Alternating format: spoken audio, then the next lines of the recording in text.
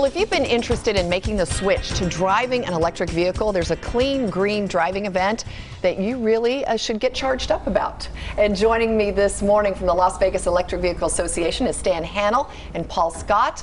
Uh, you're from the Tesla Las Vegas Tesla Owners Group, is Correct. that correct? All right, uh, and you are both co-chairs, if you will, Mm-hmm. uh, putting on a great event for National Drive Electric Week, and it's event coming up uh, in about a week or so at the Springs event. Thank you, gentlemen. Thank you both for being here. Thank you, So yeah. tell me, uh, Stan, about uh, National Drive Electric Week. Right, it's a national campaign that's uh, co-sponsored by the Electric Auto Association. Uh, the Las Vegas Electric Vehicle Association is a chapter of that one. Okay. Also the Sierra Club and another group called Plug in America.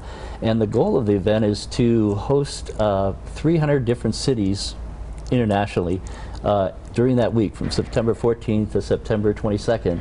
And the idea is to stage events in all major cities. And then if you go to our website, National Drive Electric Week, if someone Googles that, uh, basically uh, there's a map there and, and a bunch of green dots on the map that show where every event is going to be. If you click on the uh, Las Vegas site, you'll Uh-huh. get more information about ours. We're going to be at Springs Preserve uh, on Saturday, September 14th from 10 a.m. to 2 p.m. And we're looking forward to having an electric car rally.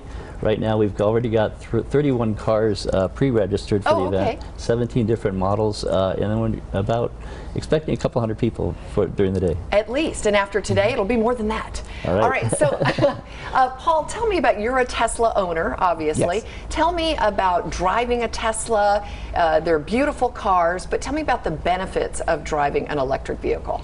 Well, Tesla's goal was to accelerate the transition to a sus- sustainable energy future. So, first of all, in 2014, we installed Tesla solar panels on our roof to get our house down to near net zero energy. And then we added the Tesla a year later Uh-huh. so that we could not have to go to gas stations anymore. Uh, the Tesla, it's it's a beautiful car. It's fun to drive. It's fast. So I always liked sports cars, but I liked the comfort of luxury. And in the Tesla, I got no compromise. I got to enjoy a sports car with the comfort of a luxury car, and never having to go to a gas station again is fantastic. And they keep updating the software, don't they, so that it gets a little bit faster, even more efficient, uh, more mileage to the charge. I've heard that it's it's it gets better and better. Absolutely, and the software updates happen in your garage at night while you're sleeping. Wow. You get up in the morning and you get, just like your computer, you get a README that says, here's all the things that have changed on your car overnight. That's pretty cool. We've gotten longer range, faster acceleration, uh, the ability to leave the air conditioning on during the summer when you get out of your car. So if you're going to the grocery store, just leave the air on so you don't have to that's get back into a hot car. All right, Stan, so uh, Teslas may be out of the price range for some people, but there are a lot of affordable electric vehicles, and there are charging stations showing up everywhere to make it an easier lifestyle choice. So if you were going to talk to somebody about switching over to electric, what would you say to them? Right, it is kind of a leap of faith to, to make that transition, but it's uh, it's something that is familiar to people. If you own a cell phone, you plug it in every night, Uh-huh. and uh, so basically, instead of going to the gas station, you can set up a portable charger in your garage if you have a home, uh, and draw that power from the sun if you've installed solar. Uh, and so you just plug it in every night, and then in the morning you're ready to go. So uh, uh, that's the ch- uh, the benefit of it.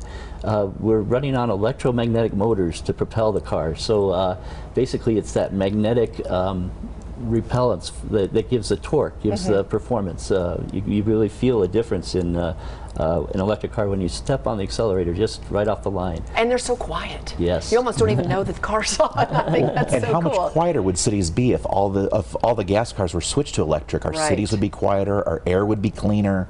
Yeah, it definitely has its benefits and it's growing. But uh, events like this just build the awareness and you're there to and you can and people at this event a week from Saturday at the Springs Preserve, uh, 10 to 2, uh, allows people to test, ride, and drive. Is that right? You'll have vehicles there for people to experience the. Uh, more, it's more of a static display, so you'll get to talk with a lot of electric vehicle owners. There's about 17 different models that have already come out. Okay. Uh, so to actually do test ride and drives, it's better to uh, actually go straight to the dealership.